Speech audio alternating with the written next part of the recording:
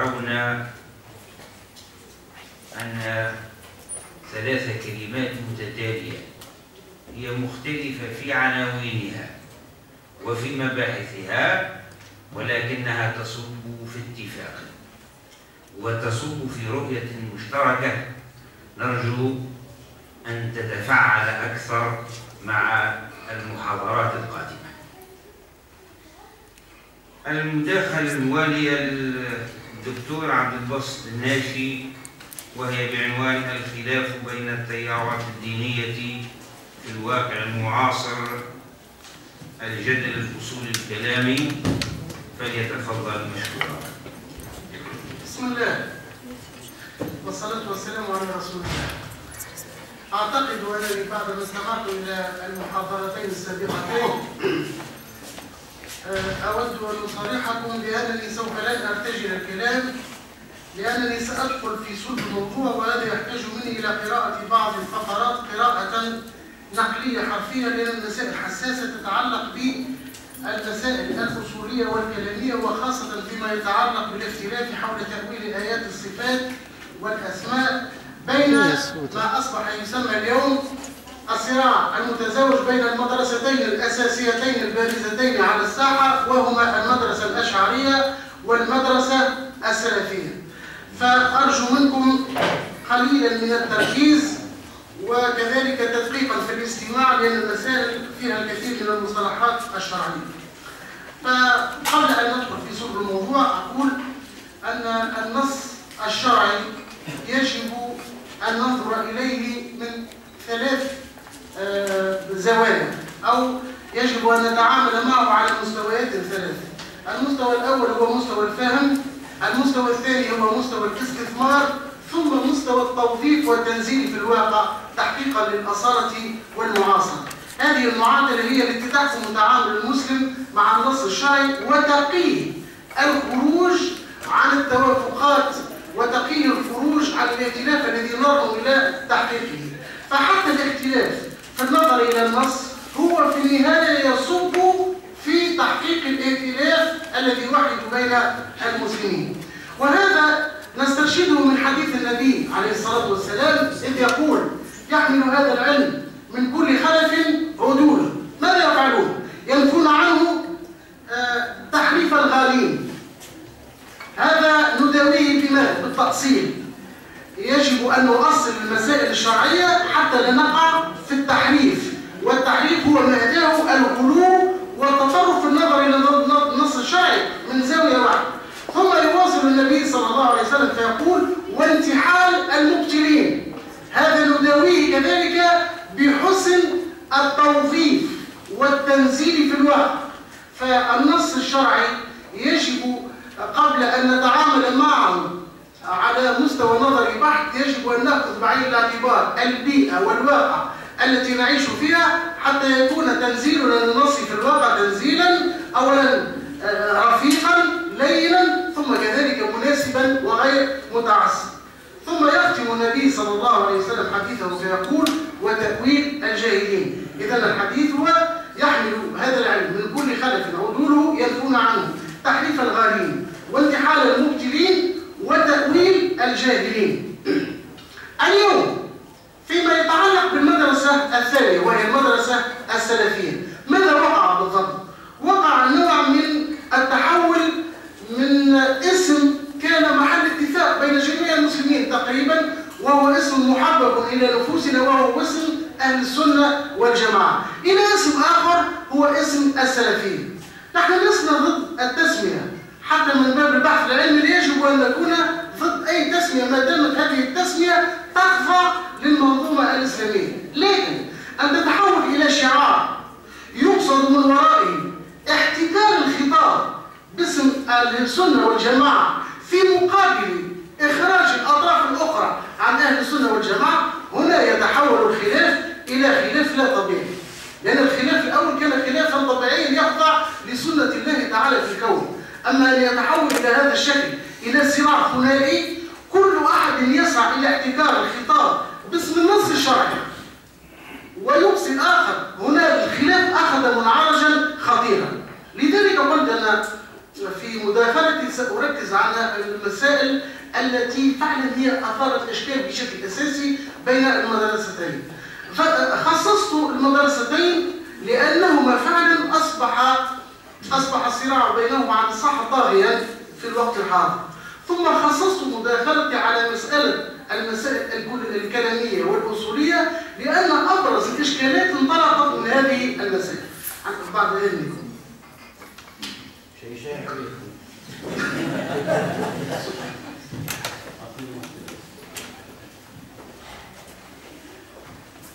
فنقول السلفية في الحقيقة التي وظفوها لكي تصبح بديلا عن اسم أهل السنة لم يكن ظهورها على على هذا الشكل. بالعكس السلفية كلمة جميلة جدا. ظهرت كحركة إصلاحية شاملة.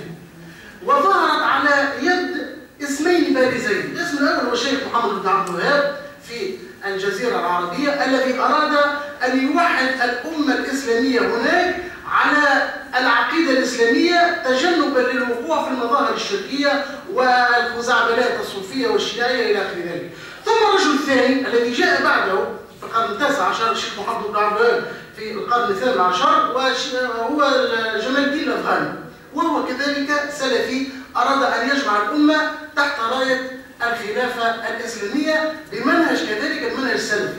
لكن لماذا وقع التركيز على الشيخ محمد بن عبد الوهاب أكثر مما وقع التركيز على جمال الدين الأفغاني؟ يبدو أن العملية مرتبطة بما كنت أذكره سابقا بمسائل الاختلاف حول فهم الآيات والأحاديث التي تتعلق بالأسماء والصفات.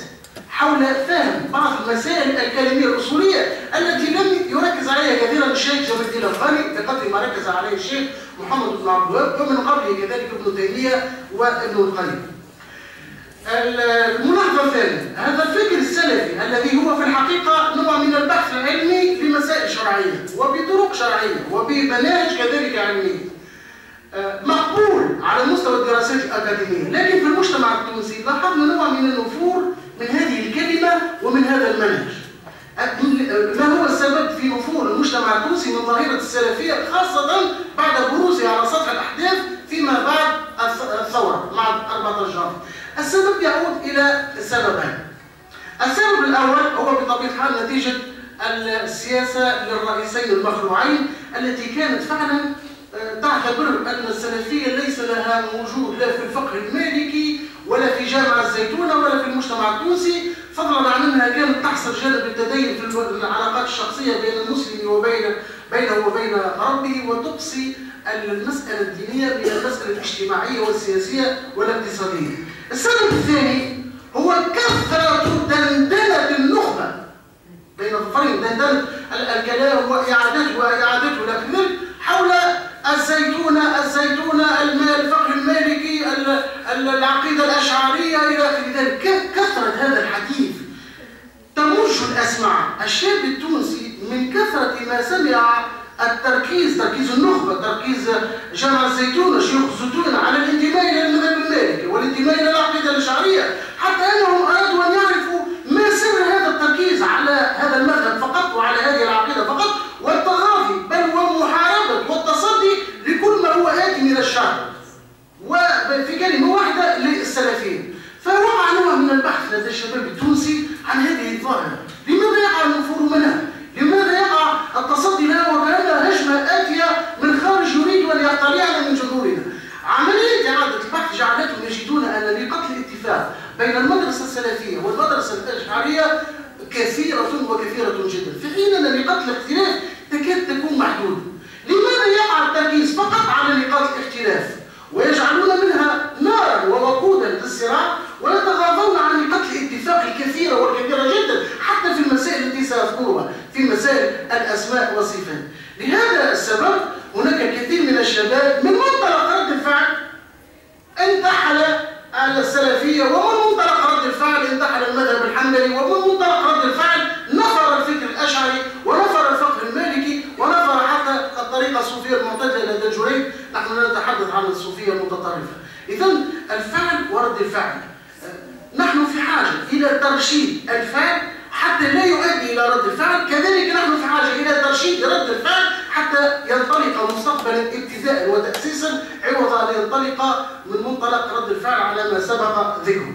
والحمد لله المجتمع التونسي اليوم بدأ بحمد الله يعي أن السلفية لها جذور حتى في المذهب المالي وحتى في الفكر الأشعري والفكر الأشعري يحتضن الفكر السلفي أكثر من أن الفكر السلفي يحتضن الفكر الأشعري سأعطيكم أدلة على ذلك صدورنا رحبة تتسع لكل من يعمل من أجل أن تكون كلمة الله هي العليا في إطار كبير وشاسع ورحب ومنفتح هو إطار أهل السنة والجماعة آه، سبب آخر نسيت أن أذكره زيادة على السببين السابقين هو ردود شيوخ الزيتونة على رسالة الشيخ محمد بن عبد الوهاب. كلكم تعرفون هذا الرد خاصة رد الشيخ المحجوب الذي ذكر في إتحاف أهل الزمان والذي فيه سب تجاوز الحد. هذا الرد القاسي من الزيتونة على رسالة محمد بن عبد الوهاب اعتبر شرارة اشتعال الصراع بين المدرسة السلفية والمدرسة الأشعرية. ولو لو اقتصر الرد على مسألة واحدة وتجنب الشيوخ الزيتون هذا السب الذي واجهوا به رسالة لكان الرد مقبولا عند الأوساط السلفية ما هي النقطة؟ هي أنه الاختلاف أين يقع بين محمد عبد أو ما يسمونه بالفكر الوهابي أو ما يسمونه بالفكر السلفي وبين الفكر الأشعري الذي يحمل لواءه الزيتونة ورجاله هو في النتيجة التي استخلصها وخرج بها الفكر الوهابي عن كل من وقع في مظاهر الشرك أو مظاهر التمسح على الأضرحة أو مظاهر زيارة القبور إلى آخر ذلك فعدوا ذلك مخرجا من الإيمان الأصلي. بينما نحن في الفكر الأشعري نوافقهم على أن ذلك مخالف للسنة ولكنه ليس بالضرورة مخرجا عن الإيمان. إذا رأيتم عندما ندخل إلى صلب الموضوع لا نجد اختلافا بين المدرستين إنما هناك وقع نوع من تضخيم المسائل وتضخيم النتائج حتى أصبحت هي محور الصراع ننتقل الآن إلى المسألة الأخرى وهي مسألة المدرسة السلفية في حد ذاتها كيف أنها في ردود أفعالها وقعت في التشرذم والتشتت لأن دائما رد الفعل لا ينتج عمل علمي بقدر ما ينتج عمل مزاجي انفعالي فالسلفيون تنوعوا إلى سلفية إصلاحية وإلى سلفية وهابية وإلى سلفية علمية وإلى سلفية جهادية وإلى سلفية كذلك مدخلية وهي سلفية مثيرة للجدل وهي التي تلعب على أوتار نقط الاختلاف بين المدرسة الأشعرية والمدرسة السلفية وزيادة على تضخيم نقاط الاختلاف يكذبون حتى في إيراد هذه الاختلافات وسأعطيكم الدليل على أن نقاط الاتفاق في مسائل تتعلق بآيات الأسماء والصفات تغافل عنها المداخل عمدا لكي يظهروا أن الأشاعرة لا يحق لهم الانتماء إلى أهل السنة وكأنهم يتلذذون ويفرحون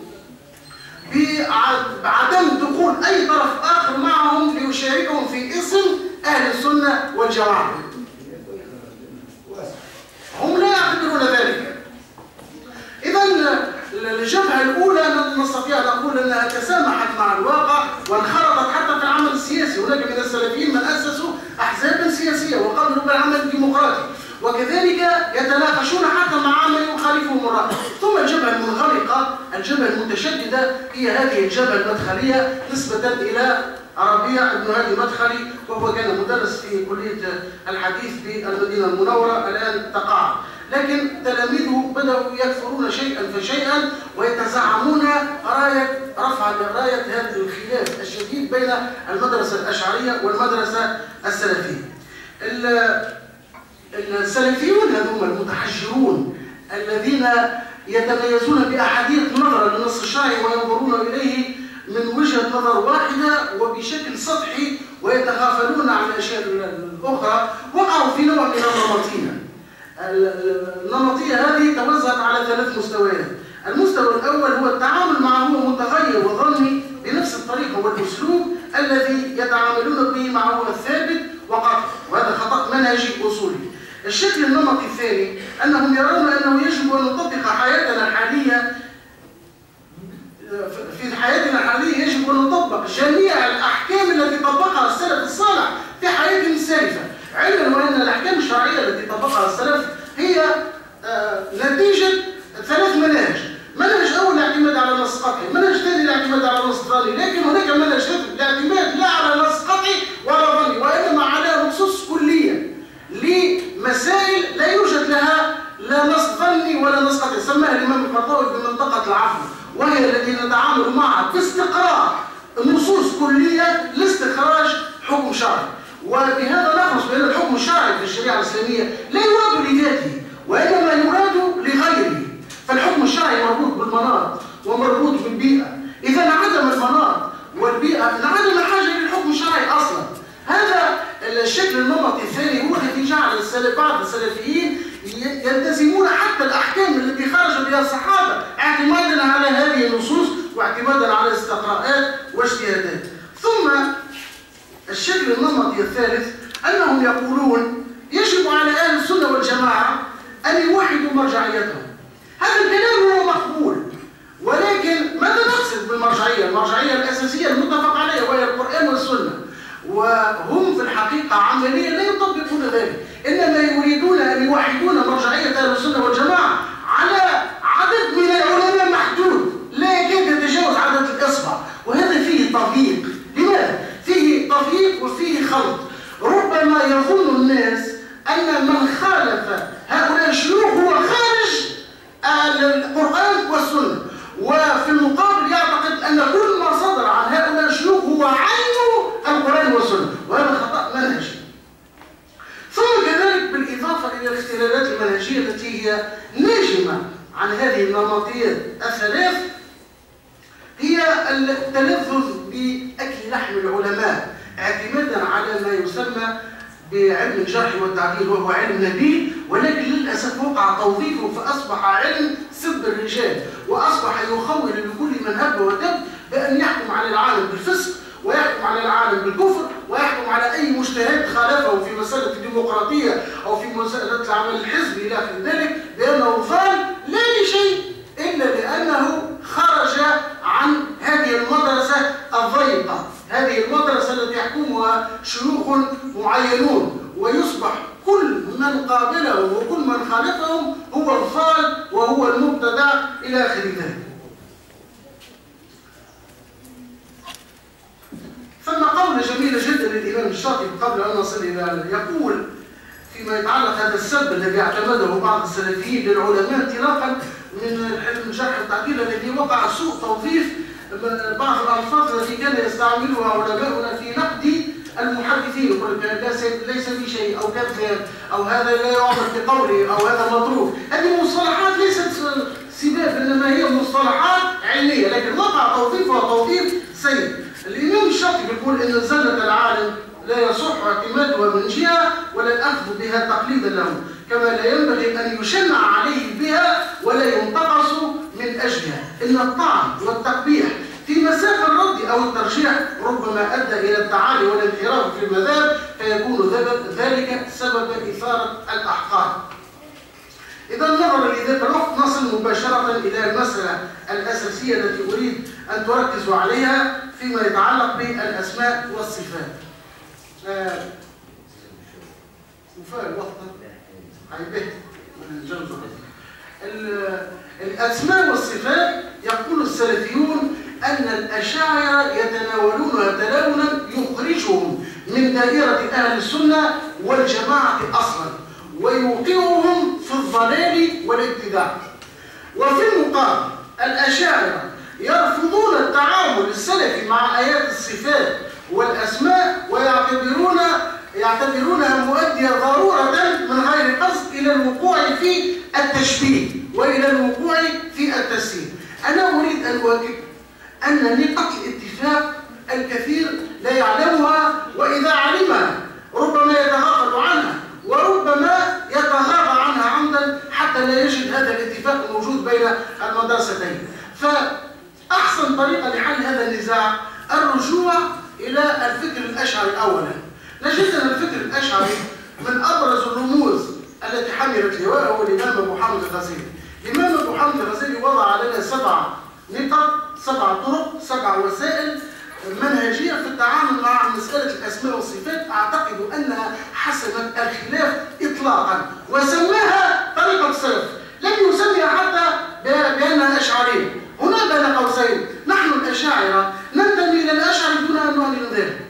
نحن قضينا سنين الصبا كلها ونحن نصلي ونتعبد ونشكر الله ونحمده وندرس في الجامعة الزيتونية ولم نذكر يوما من الأيام أننا كنا أشعريين. هكذا نوافق الإمام الأشعري ولكن لا نتعصب له نخالفه في بعض المسائل ونخالف حتى الإمام الرازي رحمه الله في كثير من التأويلات التي تجاوز فيها الحد. وفي نفس الوقت ليست لنا مشكلة مع الفكر السلفي. إنما اليوم لماذا ظهرت على السطح؟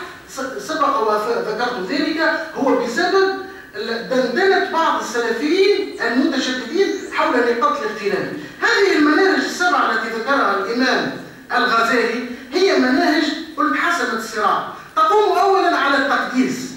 التقديس هو تنزيه الرب تعالى عن الجسمية وتوابعها فيد الله المذكورة في القرآن. أكيد أنها ليست المقصودة اليد التي فيها عصب. وفيها لحم. وإنما هي يد مجازية كما يقال هذه البلدة في يد الأمير. لا نقصد أنها في يده إنما هي تحت سيطرته. فهو نوع من التأويل لكن لا يخرج بنا عن حدود الإيمان بما ذكر في القرآن والسنة من أسماء وصفات فنأخذها كما جاءت دون تجسيم أو تعطيل وهذا محل اتفاق لكن الاختلاف وقع في ماذا؟ في التأويل أو في الإثبات التجسيم والتعطيل هذه الحمد لله ارتحنا منها لسنا لا معتزلة معطلين ولا مشبهة وجهمية مجسمين ولكن الخلاف هو في التأويل والإثبات. هناك من يريد تأويل هذه الآيات خوفا من الوقوع في التشبيهات الخيالية والتسميات الخيالية. وعلى رأس هذه المدرسة داخل الفكر الأشعري الرازي وهناك من يريد الإثبات خوفا من فتح الباب واسعا أمام التأويل فلا ينسد ابدا. وتعرفوا كانت شو وايا الأول الأول من يضمن لك انه يأتي كل من هذا ودب ويؤول آيات الصفات وآيات الأسماء بشكل حتى لا يستقيم مع المقصد الالهي ترون أن كلا المنهجين متكامل يكمل بعضه الآخر. هذا فيما يتعلق بالتقديس. التصديق. يكون وهو الإيمان بما قاله صلى الله عليه وسلم وهو فيما قاله صادق وأنه حق على الوجه الذي قاله وأراد. يقف عند هذا الحد ثم الاعتراف بالعجز لا لا يذهب إلا في قلبك انت أيها الإنسان إنك قادر على فهم المقصد الحقيقي والمعنى الحقيقي لصفات الله تعالى واسمائه هذه كما قال النبي صلى الله عليه وسلم تفكروا في خلق الله ولا تفكروا في ذاته اذا هذا في حد ذاته يخليك تعترف بأنه لابد من الوصول إلى مرحلة التفويض. هذا التفويض الذي ترفضه المدرسة السلفيه كلها مدرسه معينه المداخل يرفضون التفويض يقول لك ان تفوض وكانك تقر ان ما ذكره النبي صلى الله عليه وسلم عن اليد أو ما ذكرته الايات عن الوجه هي اشياء ليست حقيقه يقول لك يجب ان تثبت ان الوجه حقيقه لله تعالى وجه بيتم معنى الكلمة حتى لا نقع في النفي ونحن نقول لا نحن لا ننكر الوجه ولكن ننكر كيفيته هذه الكيفية مطلوبة إلى الله تعالى لا يحق لنا البحث فيه ثم كذلك السكوت ألا يسأل عن معناه ولا يخوض فيه ويعلم أن سؤاله عنه بدعة ثم الإمساك هذه أهم شيء نحب تركزوا عليها الإمام الغزالي قال الإمساك هو ألا يتصرف في تلك الألفاظ بالتصريف والتبديل والزيادة والنقصان والجمع والتفريق شيء رب سبحانه وتعالى ذكر مجموعة من الآيات فيها ذكر آيات الصفات والأسماء في مواضع متفرقة كل آية في سياقها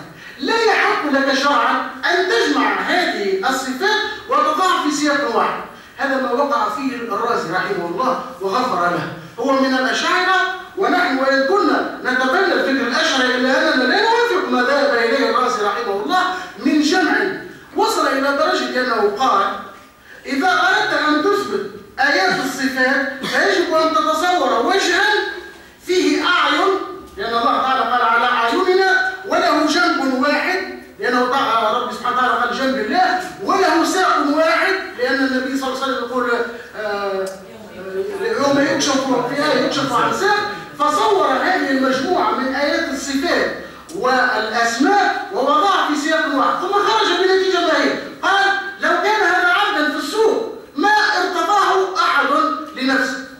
هذا نحن نتبرأ منه. كذب هذا إثما الإمام الرازي رحمه الله وإن كان يأتي بهذا الكلام لينفر من الوقوع في التثبيت فأنا لا نقول لا نحن نرفض كلام الرازي ولا نوافقه. إذا يجب أن نأخذ بعين الاعتبار أن الفكر الأشعري مر بخطوات ومر بمراحل. ولا يجب أن يتخذ فكر الإمام الرازي مطية للطعن في عقيدة الأشاعرة. الرازي في حد ذاته مدرسة مدرسة في حد ذاته ومر بمراحل وتعرفون المشاكل التي تعرض لها الإمام الرازي رحمه الله على يد أهل السنة أنفسهم لأنهم لاحظوا نوع من الانحراف عن منهج أهل السنة والانحياز إلى منهج متأثر بفكر الاعتزال. ثم المنهج السادس هو الكف قال كان يكف باطنه عن البحث عنه والتفكر فيه وهو أثقل الوظائف. هذه بيك ما حدش فاهم ثم أخيرا التسليم لأهله. أن لا يعتقد أن ذلك إن خفي عليه لعجزه فقد خفي على رسول الله صلى الله عليه وسلم وعلى أكابر الصحابة الراسخين في العلم. فلا ينبغي أن يقيس نفسه أن يقيس غيره بنفسه. إن عجزت أنت عن فهم حقيقة الأسماء والصفات. ليس يعني ذلك أن النبي صلى الله عليه وسلم يعرف حقيقتها. ولكن لست مطالبا أنت بالبحث فيها. لم يطلب منك الشرع بأن تعرف حقيقة الأسماء والصفات. فقط أعمل بها كما جاءت وأمرها كما جاءت. كما قال السلف أمروها كما جاءت. المشكلة في التفويض. التفويض يرفضه السلفيون. فنحن نسألهم ماذا تريدون في مقابل التفويض؟ أنا أعتقد أن أسلم طريقة في التعامل مع الأسماء والصفات هي كما قال أهل السنة والأشاعرة فوضوها إلى خالقها. ما, ما, ما, ما الذي يجعلنا مدفوعين إلى الدخول في هذا الباب المظلم الذي لا نخرج منه إلا بالفوارق إلى كذلك بقيت ملاحظة أخيرة قبل أن نختم. انتهى الوقت. نعم. عمل إن شاء الله. في ان شاء الله الحمد لله إن شاء الله أعتذر عن الوقت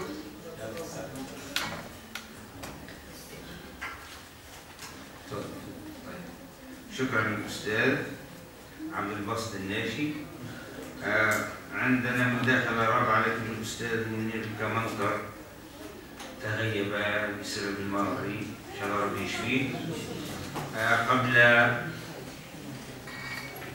أن أحيل إلى النقاش الذي نرجو أن لا يتجاوز ثلاثين دقيقة. أريد أن أشير بصفة مستعجلة إلى أن الخلاف عند المسلمين الخلاف الفعلي بمعنى الخلاف الخلاف الذي أسس للفرقة وكان سياسيا مع الخوارج. وهذه الفرقة سميت خوارج لأنهم خرجوا عن سنن الأمة. وأدى الأمر إلى إزالة هذه الفرقة بالسلاح. لأنها خرجت على الأمة بالسلاح فكان لا بد من إزالتها بالسلاح. ثم انحصر بعد ذلك الخلاف بين المدرسة السنية بمعنى الملتزمة بما جاء عن الصحابة والتابعين وأئمة المسلمين في الأمصار والمعتزلة. والمعتزلة لم يكن الأمر ليحتاج إلى تصرف معهم كما تصرف أهل السنة مع الخوارج لأنهم لم يخرجوا بسلاح وإنما كان الخلاف فكريا. فاحتاج أهل السنة إلى مقارعتهم بالحجة بأسلوبهم الذي برزوا به واحتاج الأمر إلى ثلاثة قرون لانتهاء الفكر الفكر الاعتزالي أي من بداية القرن الثاني مع واصل بن عطاء إلى نهاية الفكر الاعتزالي مع أبي الحسين البصري المتوفى سنة 436 ما يقرب من ثلاثة قرون والجدل العلمي قائم بين أهل السنة والمعتزلة. جولة لهؤلاء وجولة لهؤلاء واشتد اشتدت قوة الاعتزال في زمن الإمام أحمد بن حنبل أي زمن الخليفة المأمون والمعتصم والواثق فهؤلاء ثلاثة خلفاء ساندوا الفكر الاعتزالي ونكبوا بأهل السنة ووضعوهم في السجون وقتلوا من قتلوا من أهل السنة وعلى رأسهم المحدث المشهور محمد بن نصر. ثم بدءا من القرن الرابع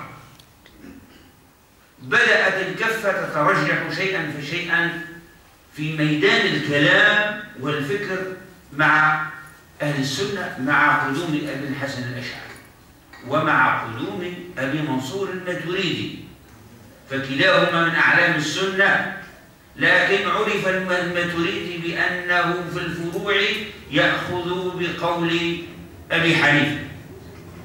وعرف أبو الحسن الأشعري بأن في الفروع بأنه يأخذ بقول الإمام الشافعي. فكلاهما ينتميان في الفروع إلى إمامين من أئمة السنة وبالطبع أيضا ينتمون إلى في تفكيرهم الكلام إلى أهل السنة والجماعة.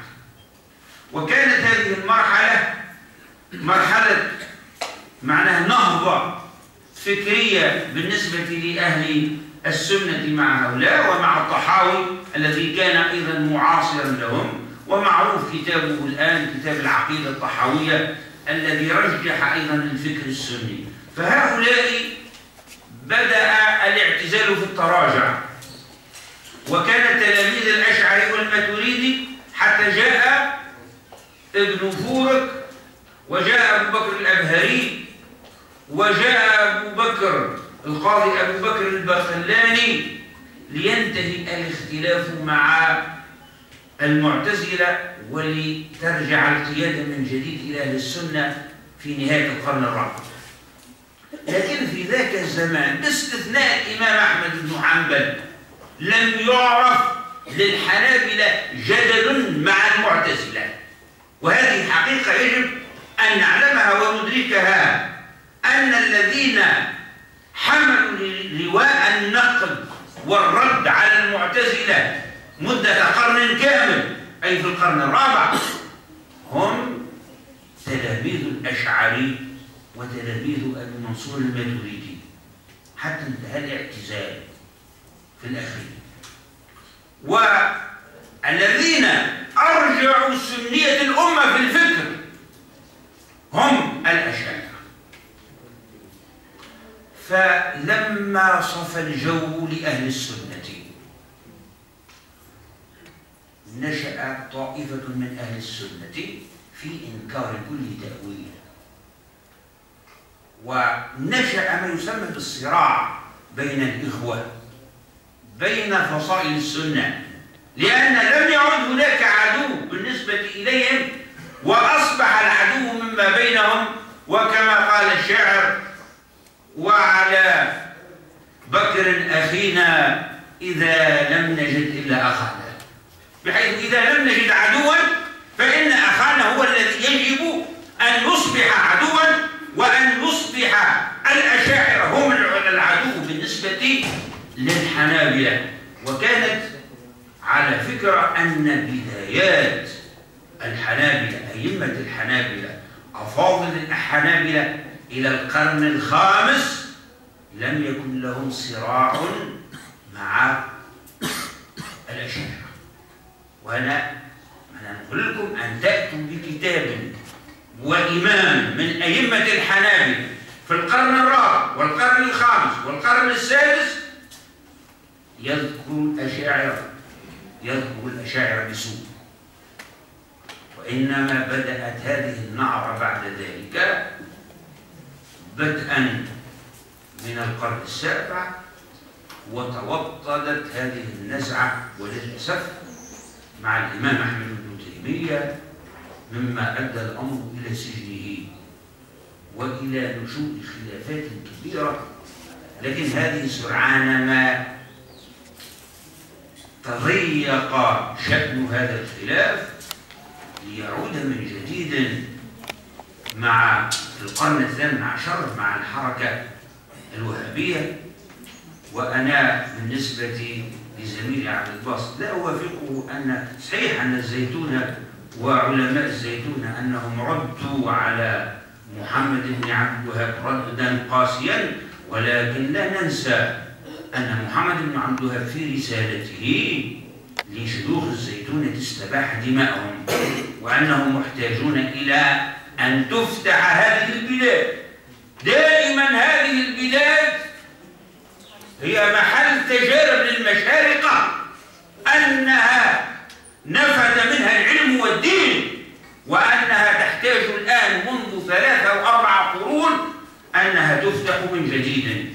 ولكن شاء الله سبحانه وتعالى وشاءت الأحداث أن يخرج الفتح من هنا من هذه البلاد لإعادة ماذا؟ لإعادة تقديم النموذج الإسلامي الراقي وإلى الآن نجت هذه البلاد رغم هذه الثورة التي قامت بها نجت من هذه التجربات ونجت من هذه الصراعات الدامية التي أصابت المشرق في جميع أمصاره. بلا خلاف ولا يزال المشارق اليوم في اختلاف دائم وفي سفك للدماء وفي تدمير لقدراتهم البشرية والعقلية. ونرى هذا البلد يتلمس خطاه في أن يهدئ من روع المشاكل رغم تألم الأمم شرقا وغربا. ونحن بقدر تجذرنا في مدنيتنا ولا أقول في أشعريتنا ولا مالكيتنا إنما تجذرنا في مدنيتنا أننا ننتمي إلى مدينة رسول الله. قراءة وفقها وسنة وعلما وأننا لا نزال نتشرف بهذا الانتماء وأننا سنعض عليه بنواجذنا لا نسلم فيه إن شاء الله تعالى. عفوا. وأحيل لكم الآن النقاش وأن يتفضل كل من يريد التدخل أن يأتي إلى هنا وأن يلقي كلمة. طيب عنكم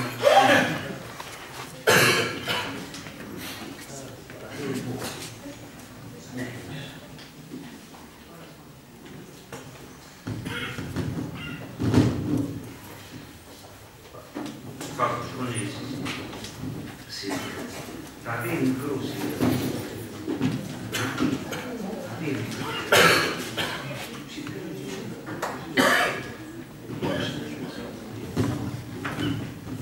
سمجود سمجود تعطيني خير غير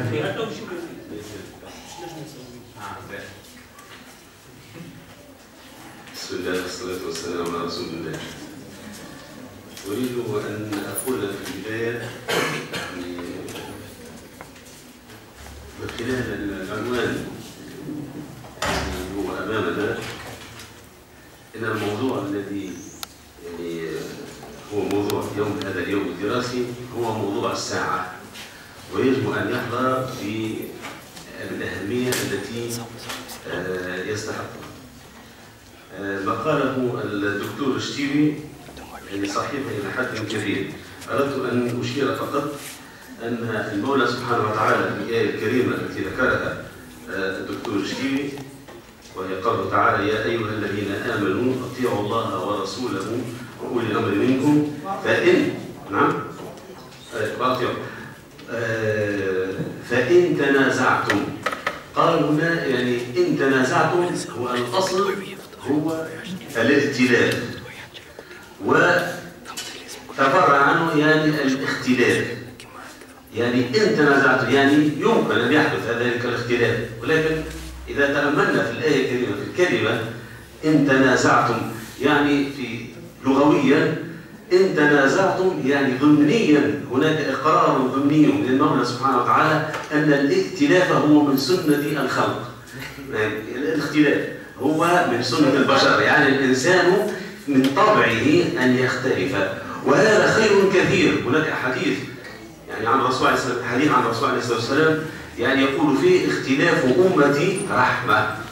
يعني بقطع النظر كما ذكر الدكتور يعني يعني في العبادات أو في غيرها يعني نحن البشر رؤانا تختلف وبالتالي يعني يجب أن يكون الذي يجمعنا هو حتى وإن اختلفنا أن نعود إلى الائتلاف وهو الأصل.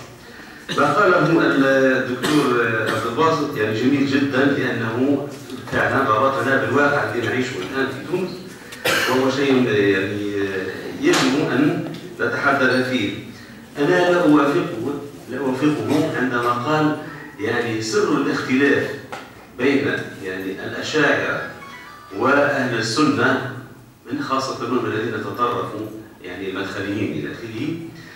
يعني يعود إلى دندنة علماء الزيتونة وتعصبهم إلى المذهب المالكي يعني بشكل صريح وكبير. أنا أتصور أن هذا غير صحيح. ما قاله الدكتور آه، هشام هو فيه نصيب كبير من الصحة. وأقول لك يعني بل بالعكس ربما تقاعس علماء الزيتونة وركودهم إلى حد الغياب عن الساحة هو الذي فتح الباب على مصراعي يعني أمام هؤلاء مع إقرارهم يعني ب يعني علماء الزيتونة إقرارهم بالطرقية التي كانت سائدة. وانحراف انحراف عن التصوف هو الذي دفع السلفيين إلى آه، وجود هذا الفكر مع توفر الفضائيات التي أصبح الآن سهلت الاتصال الغرب بالشرق واعتمادهم اعتمادا كلي على علماء السعودية هو الذي أوصلنا إلى ما نحن عليه الآن. ليس فقط يعني دندنة الزواج بالعكس هم غفلوا وتغافلوا وغابوا عن الساحة في كل شيء حتى في الفروع في حتى في آه، الأمور التعبدية يعني لم يعني لا نكاد نرى يعني اجتهادات. لا نكاد نرى يعني أي عمل يعني يعود إلى علمائنا في تونس في هذه الفترة. وبالتالي كان الباب مفتوحا على المصراعي مع وجود الفضائيين يعني وصلنا إلى ما وصلنا إليه. والله أعلم. السلام عليكم. شكرا. كلمة.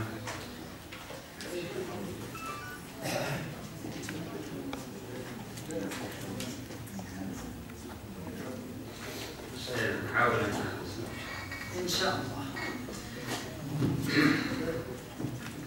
بسم الله وكفى والصلاة والسلام على المصطفى. أولا أنا سعيد ياسر وجودي معناها بين الأساتذة والدكاترة وحتى بين التلامذة والتلاميذ بالاختلاف أولا فهمي البسيط. لقد اختلف من هم خير منا وبالتالي الاختلاف هذا مسلم به.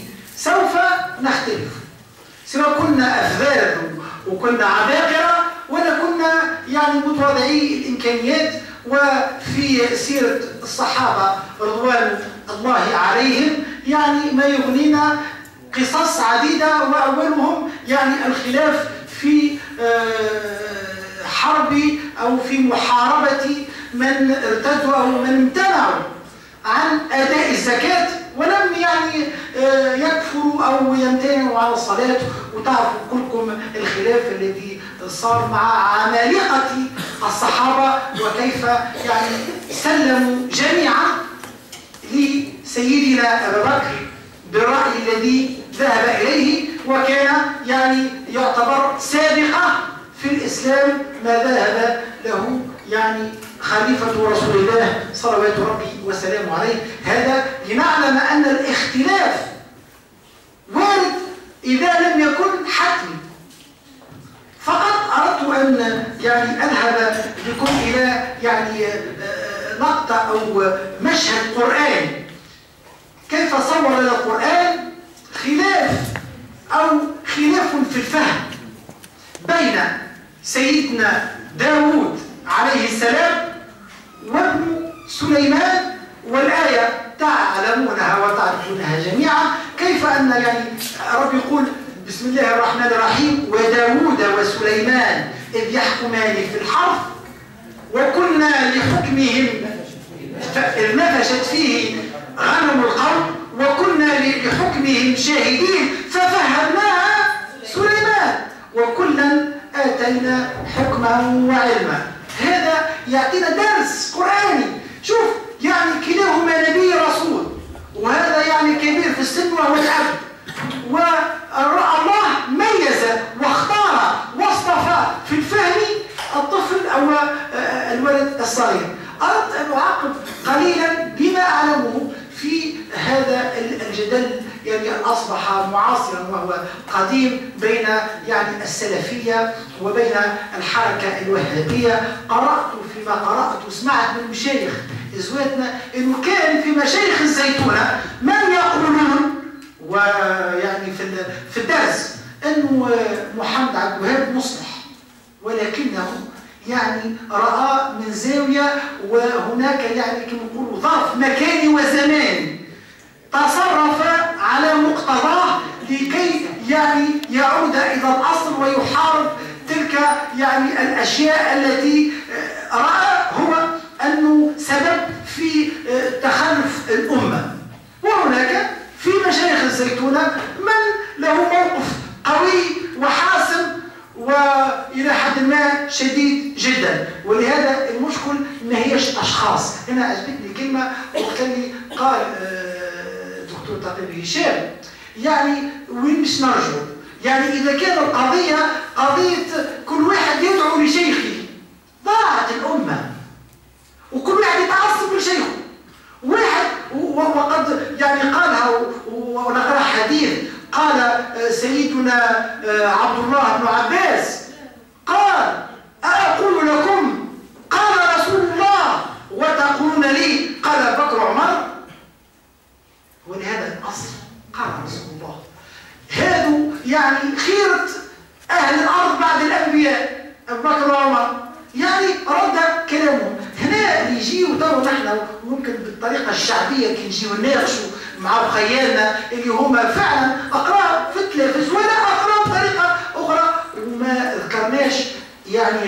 جامع الزيتونة والتصحر العلمي وتجفيف المنابع. هذا طبيعي اننا نلقاو إن واحد توا يكون جملة مفيدة يعني آه، نعمة. إذا كان خمسين سنة محاربة الدين والتدين ومحاربة كل ما يحب يجتهد باش يعرف دينه. ولهذا هذا طبيعي لكن نرجو بمرحليه بتأني نفهموا وبحول الله اللي ربي ييسر له في الفهم تو يفهم واللهم ارزقنا حسن الفهم ولن أضيف النقاط الأخرى لكي لا أطيل والسلام عليكم ورحمة الله وبركاته. ناخذ مداخلة أخرى نعم عادي.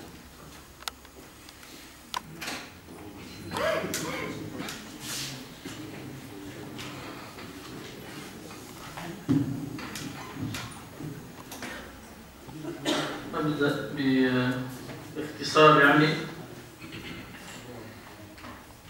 في قضية الخروج عن الإيمان ومسألة زيارة القبور والتبرك بها ذكرها أستاذنا الفاضل.